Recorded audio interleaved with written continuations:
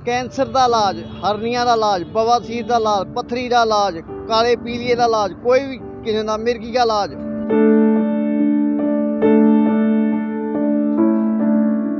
ਕੋਈ ਇਹੋ ਜੀ ਦਵਾਈ ਤੇ ਤਗੜੀ ਤਿਆਰ ਕੀਤੀ ਹੈਗੀ ਆ ਮੇਰੇ ਕੋ ਪਤਾ ਨਹੀਂ ਇੱਥੇ ਜਦੋਂ ਦਾ ਮੈਂ ਬੈਠਾ ਹਾਂ ਘੱਟੋ ਘੱਟ ਨਹੀਂ ਮੇਰੇ ਕੋ 50 ਮਰੀਜ਼ ਜਿਹੜੇ ਕੈਂਸਰ ਆਈ ਠੀਕ ਹੋ ਕੇ ਚਲ ਗਏ ਆ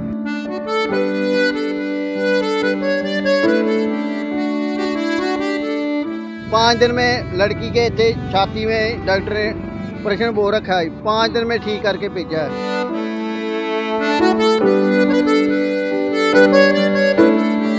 ਉਹ ਵਾਹਿਗੁਰੂ ਦੀ ਮਿਹਰ ਹੈ ਜੀ ਜਿਹੜਾ ਅੰਗ ਉਂਗ ਟੁੱਟ ਜਾਏ ਉਹਨੂੰ ਸਹੀ ਕਰਦੇ ਚੂਲਾ ਟੁੱਟਾ ਹੋਵੇ ਕੋਈ ਵੀ ਚੀਜ਼ ਦੀ ਮੋਬਾਈਲ ਡਿਸਕ ਜਾਂ ਜ਼ਿਆਦਾ ਹਿੱਲੀ ਹੋਵੇ ਉਹ ਵੀ ਜਾਂ ਕਿਸੇ ਦੀ ਲੱਤ ਜੇ ਬਲੌਕ ਆ ਉਹ ਵੀ ਠੀਕ ਕਰ ਦਿੰਦੇ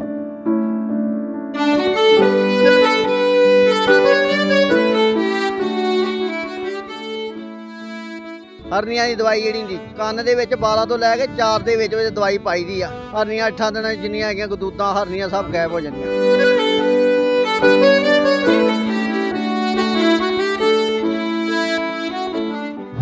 ਸਤਿ ਸ਼੍ਰੀ ਅਕਾਲ ਦਰਸ਼ਕੋ, ਤੁਸੀਂ ਦੇਖ ਰਹੇ ਹੋ ਐਨਆਰਆਈ ਪੰਜਾਬੀ ਟੀਵੀ ਤੇ ਮੈਂ ਹਰਜੀਤ ਕੌਰ। ਅੱਜ ਤੁਹਾਨੂੰ ਇੱਕ ਕਿਸਾਨੀ ਅੰਦੋਲਨ 'ਚ ਇੱਕ ਐਸੀ ਸ਼ਖਸੀਅਤ ਦੇ ਰੂਬਰੂ ਕਰਵਾਵਾਂਗੇ। ਕਿਸਾਨੀ ਅੰਦੋਲਨ 'ਚ ਲਗਾਤਾਰ 9 ਮਹੀਨੇ ਹੋ ਚੁੱਕੇ ਨੇ, ਡਟੇ ਹੋਏ ਨੇ। ਇੱਕ ਗੁਰਸਿੱਖ ਹਕੀਮ, ਜਿਹੜੇ ਕਿ ਜੱਦੀ ਹਕੀਮੀ ਕਰਦੇ ਨੇ ਤੇ ਇੱਥੇ ਲੋਕਾਂ ਦਾ ਇਲਾਜ ਕਰਦੇ ਨੇ ਵੱਖਰੇ ਵੱਖਰੇ ਤਰੀਕੇ ਦੇ ਨਾਲ। ਕਈਆਂ ਦੇ ਗੋਡੇ ਟੁੱਟੇ ਹੁੰਦੇ ਨੇ, ਕਈਆਂ ਦੀਆਂ ਹੱਡੀਆਂ ਟੁੱਟੀਆਂ ਹੁੰਦੀਆਂ ਨੇ, ਉਹਨਾਂ ਨੂੰ ਵੀ ਜੋੜਨ ਦਾ ਕੰਮ ਕੀਤਾ ਤੇ ਹੋਰ ਵੀ ਕਈ ਦਵਾਈਆਂ ਜਿਹੜੇ ਕਿ ਆਪਣੇ ਹੱਥੀਂ ਤਿਆਰ ਕਰਦੇ ਨੇ। ਇੱਕ ਐਸੀ ਸ਼ਖਸੀਅਤ, ਤੁਸੀਂ ਦੇਖ ਸਕਦੇ ਹੋ ਕਿ ਇਹ ਇੱਥੇ ਬਾਪੂ ਗੁਰਮੀਤ ਸਿੰਘ ਹਕੀਮ ਨੇ, ਗੁਰਸਿੱਖ ਹਕੀਮ ਨੇ ਜਿਹੜੇ ਕਿ ਲਗਾਤਾਰ ਇੱਥੇ 9 ਮਹੀਨੇ ਹੋ ਚੁੱਕੇ ਨੇ 10ਵਾਂ ਮਹੀਨਾ ਚੱਲ ਰਿਹਾ। ਉਦੋਂ ਤੋਂ ਹੀ ਇੱਥੇ ਡਟੇ ਹੋਏ ਨੇ।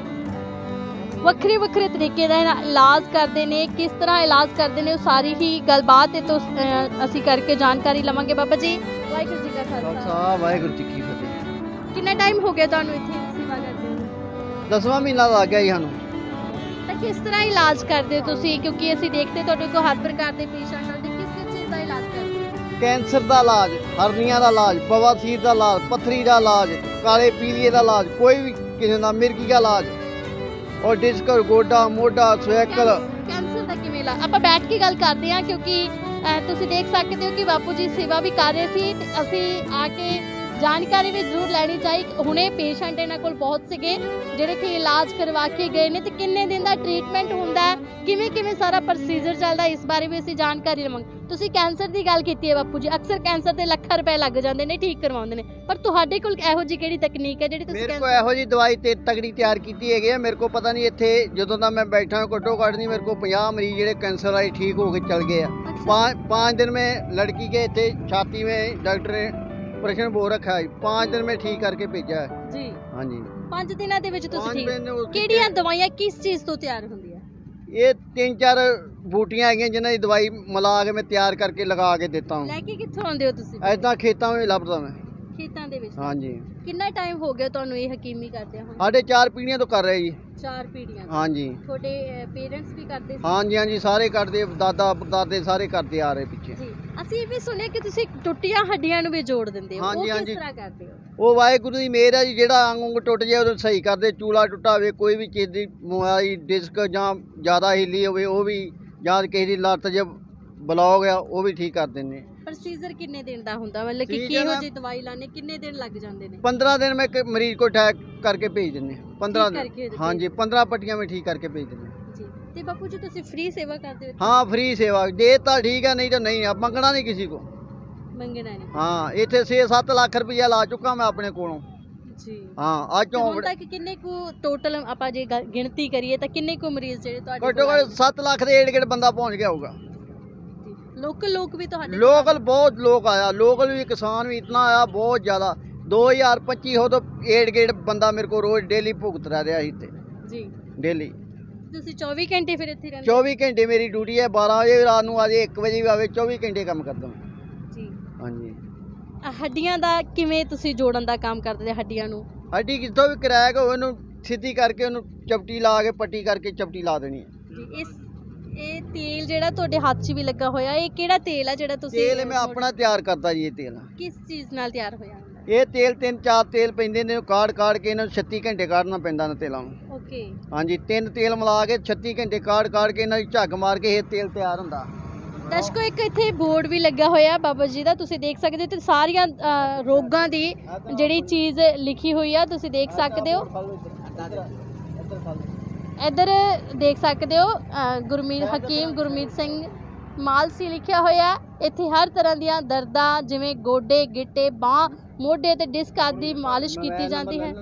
ਠੀਕ ਹੈ ਜੀ ਅੱਗੇ ਵੀ ਤੁਸੀਂ ਮੋਬਾਈਲ ਨੰਬਰ ਦੇਖ ਸਕਦੇ ਜੇ ਕਿਸੇ ਨੇ ਕੋਈ ਵੀ ਦਵਾਈ ਲੈਣੀ ਹੋਵੇ ਕਿਉਂਕਿ ਹਰਨੀਆਂ ਬਵਾਸੀਰ ਪੱਥਰੀ ਦੀ ਵੀ ਦਵਾਈ ਦਿੱਤੀ ਜਾਂਦੀ ਹੈ। ਜੀ ਸ਼ੂਗਰ ਦੀ ਵੀ। ਦਵਾਈ। ਬਾਪੂ ਜੀ ਕਈ ਵਾਰ ਅਕਸਰ ਕਿਹਾ ਜਾਂਦਾ ਕਿ ਪੱਥਰੀਆਂ ਬਹੁਤ ਕਈ ਕਿਸੇ ਦੇ ਮੋਟੀਆਂ ਹੁੰਦੀਆਂ ਵੱਡੀਆਂ ਹੁੰਦੀਆਂ ਉਹਨਾਂ ਨੂੰ ਨਿਕਲਣ 'ਚ ਬੜੀ ਦਿੱਕਤ ਹੁੰਦੀ ਹੈ ਕਿਉਂਕਿ ਜਿੰਨੀਆਂ ਮਰਜ਼ੀ ਦਵਾਈਆਂ ਖਾ ਲਈਏ। ਤੁਹਾਡੀ ਤੁਹਾਡੀ ਦਵਾਈ ਕਿਹੜੀ ਹੈ? ਸਭ ਤੋਂ ਭਖੜੇ ਤੋਂ ਦਵਾਈ ਤਿਆਰ ਹੁੰਦੀ ਇੱਕ। ਉਸ ਤੋਂ ਇਲਾਵਾ ਇੱਕ ਮੂਲੀ ਤੋਂ ਮੂਲੀ ਤੋਂ ਜੂਸ ਤੋਂ ਤਿਆਰ ਹੋ ਰਹੀ ਹੈ ਅੱਜ ਕੱਲ ਜ਼ਿਆਦਾ ਹੀ ਉਹ ਕਰਦੇ ਆ। ਕਿਲੋ ਮੂਲੀ ਕਹਿੰਦੇ ਉਹਦਾ ਅਸਰ ਨਹੀਂ ਹੁੰਦਾ ਜ਼ਿਆਦਾ। ਅਸਰ ਬਹੁਤ ਛੇਤੀ ਹੋ ਜਾਂਦਾ ਉਹਦਾ। ਜੀ। ਕਿਸ ਤਰ੍ਹਾਂ ਉਹਨੂੰ ਵਰਤਣਾ ਕਿਵੇਂ ਹੁੰਦਾ ਹੈ? ਉਹਨੂੰ ਕਿਲੋ ਮੂਲੀ ਨੂੰ ਲੈ ਕੇ ਕੱਦੂਕਸ ਕਰ ਲੈਣਾ ਉਹਨੂੰ। ਜੀ। ਕੱਦੂਕਸ ਕਰਕੇ ਉਹਦਾ ਨਿਚੋੜ ਕੇ ਪਾਣੀ ਕੱਢ ਲੈਣਾ। ਪਾਣੀ ਕੱਢ ਕੇ ਉਹਦਾ ਜਿੰਨਾ ਨਿਕਲੇ ਪਾਈਆ ਡੇਢ ਪਾਈਆ ਨਿਕਲੇ ਇੱਕ ਨਿੰਬੂ ਪਾਣਾ ਮਾੜਾ ਜਿਹਾ ਲੂਣ ਪਾ ਕੇ ਖਾਲੀ ਪੇਟ ਪੀਣਾ 15 ਦਿਨ ਕਿਲੋ ਮੂਲੀ ਦਾ ਪਾਣੀ ਜਿੰਨੀਆਂ ਹੈਗੀਆਂ ਖੁਰ ਕੇ ਪਿਸ਼ਾਬ ਰਾਹੀਂ ਬਾਹਰ ਆ ਜਾਣਗੀਆਂ। ਜੀ। ਹਾਂਜੀ। ਤੇ ਹਰਨੀਆਂ ਦਾ ਇਲਾਜ ਕਿਸ ਤਰ੍ਹਾਂ ਹਰਨੀਆਂ ਦੀ ਦਵਾਈ ਪਾਈ ਜੀ 8 ਦਿਨ ਬਾਅਦ 8 ਦਿਨ। ਹਰਨੀਆਂ ਦੀ ਦਵਾਈ ਜਿਹੜੀ ਹੁੰਦੀ ਕੰਨ ਦੇ ਵਿੱਚ 12 ਤੋਂ ਲੈ ਕੇ 4 ਦੇ ਵਿੱਚ ਵਿੱਚ ਦਵਾਈ ਪਾਈ ਦੀ ਆ। ਜੀ। 15 ਮਿੰਟ ਉਹ ਕੰਨ 'ਚ 15 ਮਿੰਟ ਉਹ ਕੰਨ 'ਚ ਹਰਨੀਆਂ 8 ਦਿਨਾਂ ਜਿੰਨੀਆਂ ਹੈਗੀਆਂ ਗਦੂਦਾਂ ਹਰਨੀਆਂ ਸਭ ਗਾਇਬ ਹੋ ਜਾਂਦੀਆਂ। ਤਿਆਰ ਕਿੱਦਾਂ ਹੁੰਦੀ ਹੈ ਤਿਆਰ ਉਹ ਅੱਕ ਦਾ ਹੈਗਾ ਉੱਥੋਂ ਅੱਕ ਦਾ ਇੱਕ ਪੀਸ ਤੋੜ ਕੇ ਲਿਆ ਉਹ ਲੱਗਾ ਅੱਕ। ਉਹਦਾ ਪੱਤਾ ਤੋੜ ਕੇ ਲਿਆਓ। ਹਾਂ ਵੇ ਆ ਥੱਲੇ ਅੱਕ ਦਰਸ਼ਕੋ ਇੱਥੇ ਅੱਕ ਵੀ ਲੱਗਿਆ ਹੋਇਆ ਬਾਪੂ ਜੀ ਦੇ ਨਜ਼ਦੀਕ। ਜੇ ਕਿਸੇ ਨੇ ਵੀ ਕੋਈ ਹਰਨੀਆਂ ਦੀ ਦਵਾਈ ਜਿਹੜੀ ਤਿਆਰ ਕਰਨੀ ਹੋਵੇ ਤਾਂ ਉਹ ਬੜੇ ਵਧੀਆ ਤਰੀਕੇ ਨਾਲ ਬਾਪੂ ਜੀ ਤੋਂ ਸਿੱਖ ਸਕਦੇ ਨੇ। ਘਰੇ ਹੀ ਦਵਾਈ ਤਿਆਰ। ਕਰਕੇ ਉਹਦਾ ਇਸਤੇਮਾਲ ਕਰ ਸਕਦੇ ਨੇ ਨਾ, ਤਾਂ ਜੋ ਜਿੰਨੀਆਂ ਵੀ ਕਿਸੇ ਦੇ ਹਰਨੀਆਂ ਹੋਣਗੀਆਂ? ਉਹ ਠੀਕ ਹੋ ਜਾਣਗੀਆਂ। ਇੱਥੋਂ ਤੱਕ ਕਿ ਬਾਪੂ ਜੀ ਨੇ ਇੱਥੇ ਨਰਮ ਆਪਾਂ ਕਹਿ ਸਕਦੇ ਕਿ ਕਾਟਨ ਦੀ ਲੋੜ ਪੈਂਦੀ ਹੈ ਤਾਂ ਉਸ ਨੂੰ ਉਗਾਉਣ ਦੇ ਲਈ ਵੀ ਇਹਨਾਂ ਨੇ ਨਰਮਾ ਜਿਹੜਾ ਇੱਥੇ ਲਗਾਇਆ ਹੋਇਆ ਉਹ ਵੀ ਤੁਹਾਨੂੰ ਦਿਖਾਵਾਂਗੇ। ਪਰ ਉਸ ਤੋਂ ਪਹਿਲਾਂ ਹਰਨੀਆਂ ਦੀ ਦਵਾਈ ਕਿਸ ਤਰ੍ਹਾਂ ਤਿਆਰ ਹੁੰਦੀ ਆ ਉਹ ਤੁਹਾਡੇ ਰੂਬਰੂ ਜ਼ਰੂਰ ਕਰ ਦਿੰਦੇ ਆ। ਜੀ ਬਾਪੂ ਜੀ। ਆ ਪੱਤਾ ਇਹ ਅੱਕ ਦਾ ਪੱਤਾ ਇਹਨੂੰ ਅੰਬ ਵਰਗਾ ਹੀ ਛੇ ਵਰਗਾ ਇਹਨੂੰ ਬੀ ਲੱਗਦਾ ਵਾ। ਇਹਦੀ ਪਛਾਣ ਸਭ ਤੋਂ ਵਧੀਆ ਇਹਨੂੰ ਚਿੱਟੀਆਂ ਭਮੀਰੀਆਂ ਲੱਗਦੀਆਂ। ਇਹਨੂੰ ਅੰਬ ਅੰਬ ਟੈਪ ਦਾ ਇਹਨੂੰ ਲੱਗਦਾ ਵਾ। ਜੀ। ਠੀਕ ਆ? ਇਹਨੂੰ ਕੁੱਟੋ। ਲੱਗਦੇ ਆ। ਅੰਬ ਲੱਗਦੇ ਆ। ਅੰਬ ਵਰਗਾ ਲੱਗਦਾ ਇਹਨੂੰ।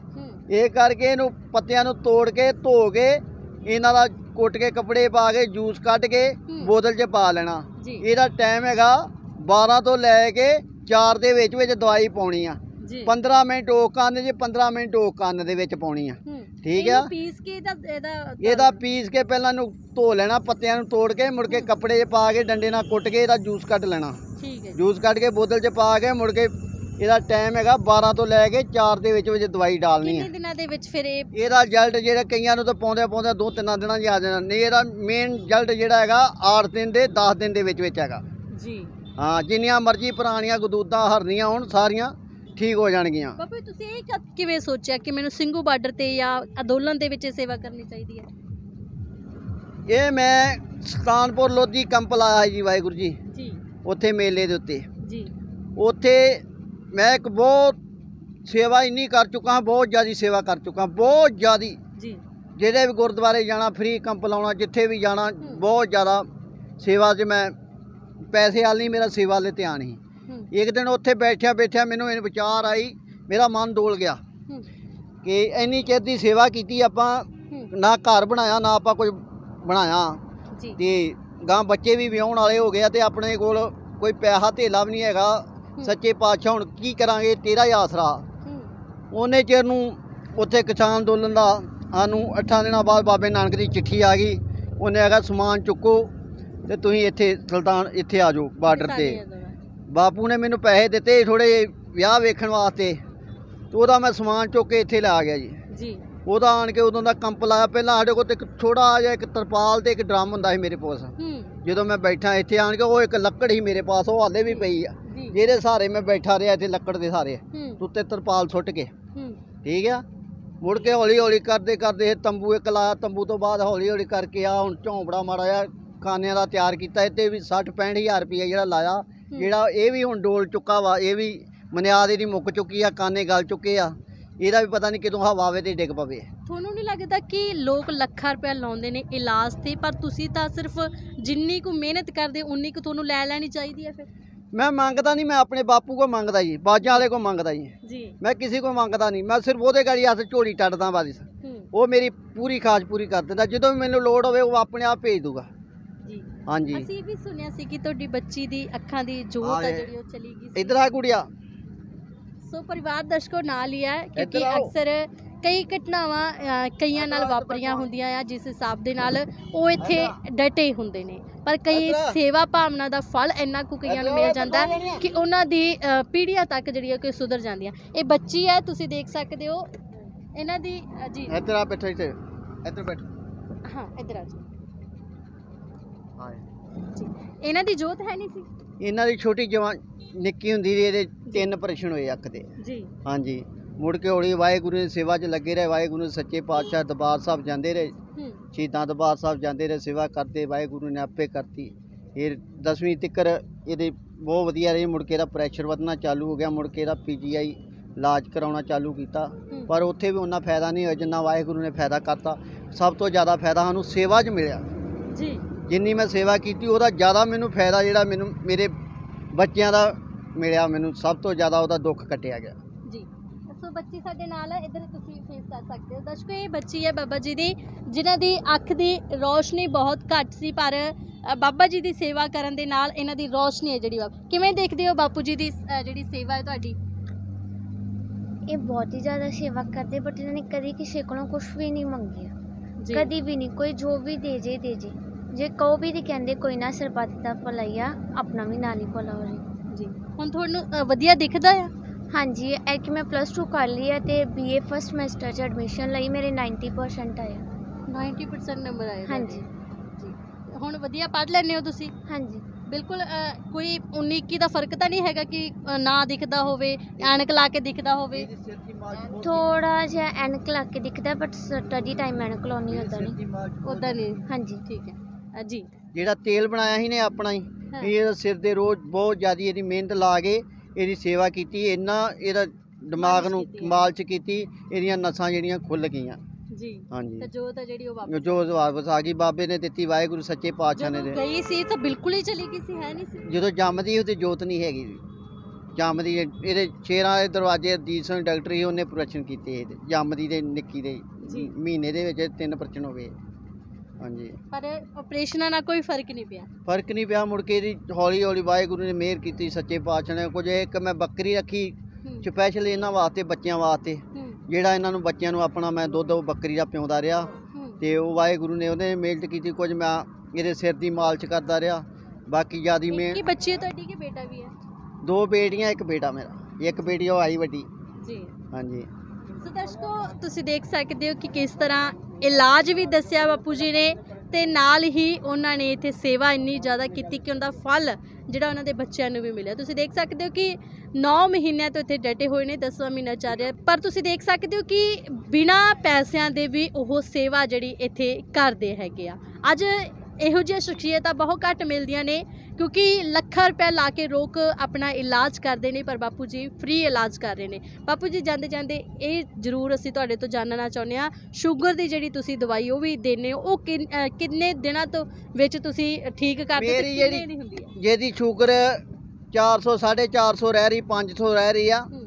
ਉਹ ਦਵਾਈ ਇੰਦਰਜੋ ਲੈਣਾ ਹੂੰ ਇੰਦਰਜੋ ਲੈਣਾ ਛੋਲੇ ਲੈਣਾ ਬਦਾਮਾਂ ਦੀਆਂ ਗਿਰੀਆਂ ਇੱਕੋ ਜਿਹੇ ਲੈ ਕੇ ਉਹਨਾਂ ਨੇ ਪੀ ਕੇ ਉਹਨਾਂ ਦਾ ਪਾਊਡਰ ਬਣਾ ਕੇ ਇੱਕ ਚਮਚਾ ਸਵੇਰੇ ਚਮਚਾ ਸ਼ਾਮ ਨੂੰ ਖਾਣਾ ਜਿਹਦੀ ਸ਼ੂਗਰ 4 450 ਰਹਿੰਦੀ ਆ ਪੰਜਾਂ ਦਿਨਾਂ ਦੇ ਵਿੱਚ ਵਿੱਚ ਉਹਦੀ ਸਵਾ 200 150 ਦੇ ਏੜ ਗੇੜ ਆ ਜੂਗੀ 150 ਸ਼ੂਗਰ ਆ ਜੂਗੀ ਪੰਜਾਂ ਦਿਨਾਂ ਦੇ ਵਿੱਚ ਵਿੱਚ ਉਹਦੀ ਸ਼ੂਗਰ ਜਿਹੜੀ ਸੈੱਟ ਹੋਣੀ ਚਾਲੂ ਹੋ ਜਾਏਗੀ। ਜੀ ਤਾਂ ਇਹ ਤੁਸੀਂ ਘਰ ਦੇ ਵਿੱਚ ਹੀ ਜਿਹੜੀਆਂ ਚੀਜ਼ਾਂ ਹੁੰਦੀਆਂ ਉਹਨਾਂ ਨਾਲ ਹੀ ਆਪਾਂ ਤਿਆਰ ਕਰ ਸਕਦੇ ਉਹ ਹਾਂ? ਉਹਨਾਂ ਨੇ ਤਿਆਰ ਕਰਦੇ ਆ ਜੀ। ਹਾਂਜੀ। ਉਹਨਾਂ ਦੇ ਨਾਲ ਹੀ ਤਿਆਰ ਹੋ ਰਹੀਆਂ ਦਵਾਈਆਂ ਜਿਹੜੀਆਂ ਆਪਣੀਆਂ ਘਰਾਂ 'ਚ। ਬਹੁਤ ਬਹੁਤ ਧੰਨਵਾਦ ਜੀ। ਸੋ ਦਰਸ਼ਕੋ, ਬਣੇ ਰਹੋ ਆਈ ਪੰਜਾਬੀ ਟੀਵੀ ਦੇ ਨਾਲ। ਇਦਾਂ ਦੀਆਂ ਸ਼ਖਸੀਅਤਾਂ ਤੁਹਾਡੇ ਰੂਬਰੂ ਕਰਵਾਉਂਦੇ ਰਹਾਂਗੇ। ਤਦ ਤੱਕ ਲਈ ਇਜਾਜ਼ਤ ਦਿਓ।